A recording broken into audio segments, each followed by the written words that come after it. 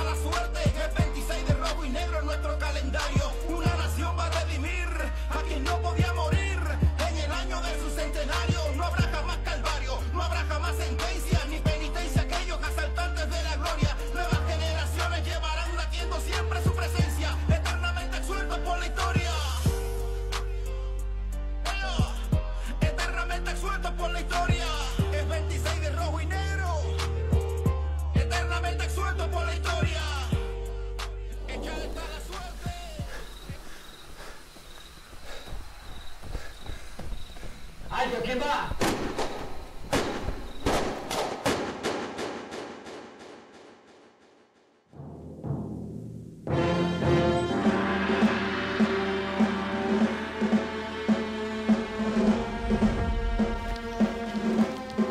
El plan del asalto era bueno y concreto.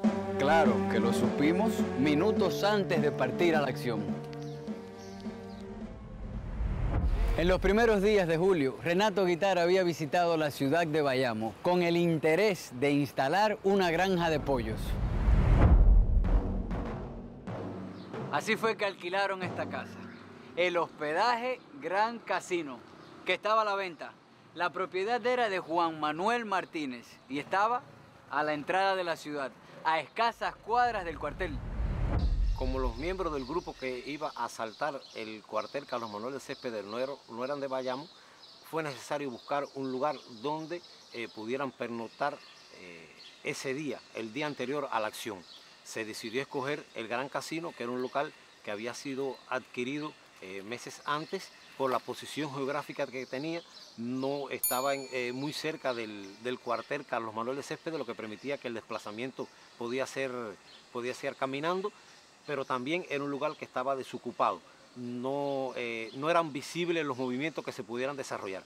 Entonces, eh, era, era un lugar que reunía las condiciones excepcionales para que estos hombres pernoctaran del 25 para el 26 de julio y se dirigieran con eh, rapidez y facilidad hasta el cuartel Carlos Manuel Céspedes, el cual se encontraba solamente ubicado algunas cuadras de- del hospedaje Gran Casino.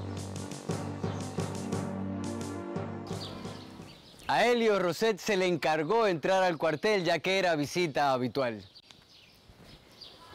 Era un matancero radicado en Bayamo y conocido de Renato Guitar en su etapa como estudiante en Cárdenas. Ya adentro, junto al jefe de comando Raúl Martínez Arará, a quien presentaría como un soldado de paso, se neutralizaría la posta.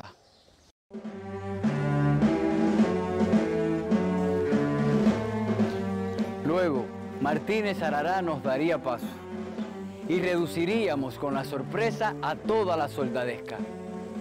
Fácil. El plan de ataque al cuartel Carlos Manuel de Céspedes era un plan que pudiéramos decir que era bastante sencillo. Consistía en el desplazamiento de dos eh, asaltantes hasta las torres de- del cuartel. Ahí vendrían acompañados con un bayamés que eh, plantearía que ellos venían a quedarse eh, a pasar, la- a pasar el, el- el día para posteriormente dirigirse hasta la ciudad de Santiago de Cuba.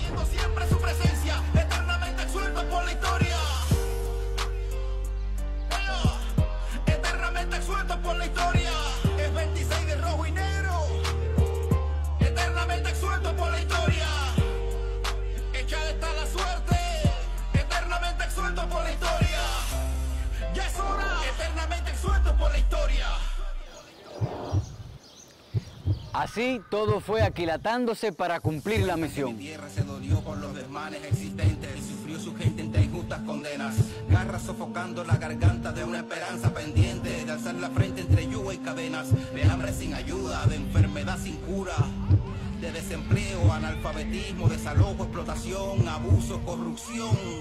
De y de racismo. Abismos que crecieron cuando un golpe militar, militar pudo aclarar al cubano la mente. Nuestro camino urgente será el de siempre luchar y luchar hasta